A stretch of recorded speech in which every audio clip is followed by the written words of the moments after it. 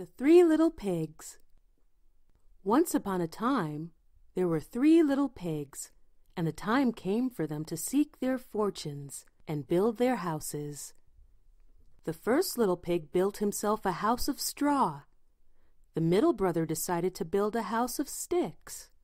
It wasn't either a very strong house, but the third pig, the oldest, decided to build a house of bricks. He did not mind hard work because he wanted a strong house, because he knew that in the woods nearby there was a wolf who liked to catch little pigs and eat them up.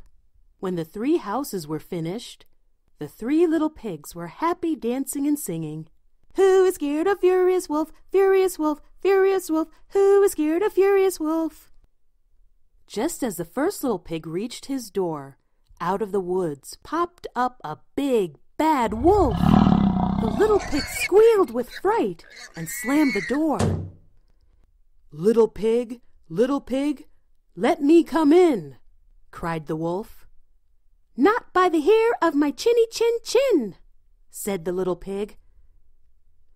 Then I'll huff, and I'll puff, and I'll blow your house in, roared the wolf. and he blew the little straw house. Away raced the little pig to his brother's house of sticks. The wolf was really angry, so went behind the youngest pig, the house of sticks, where the pigs were singing. Who is scared of Furious Wolf? Furious Wolf, Furious Wolf, who is scared of Furious Wolf? Suddenly, the wolf roared. Open the door! Let me come in!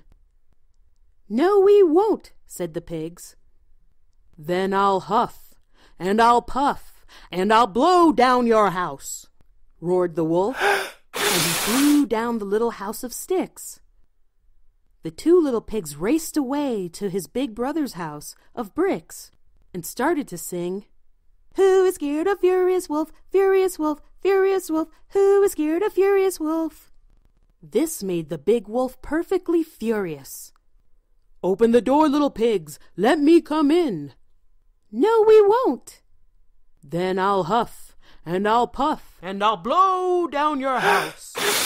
but he couldn't blow down the little house of bricks. He decided to climb and get in through the chimney. So he climbed, jumped down, and fell right into a kettle of boiling water. He sprang straight up the chimney again and raced away into the woods. The three little pigs never saw him again, and spent their time in the strong brick house, dancing and singing. Who is scared of Furious Wolf? Furious Wolf, Furious Wolf, who is scared of Furious Wolf? Furious Wolf. The end.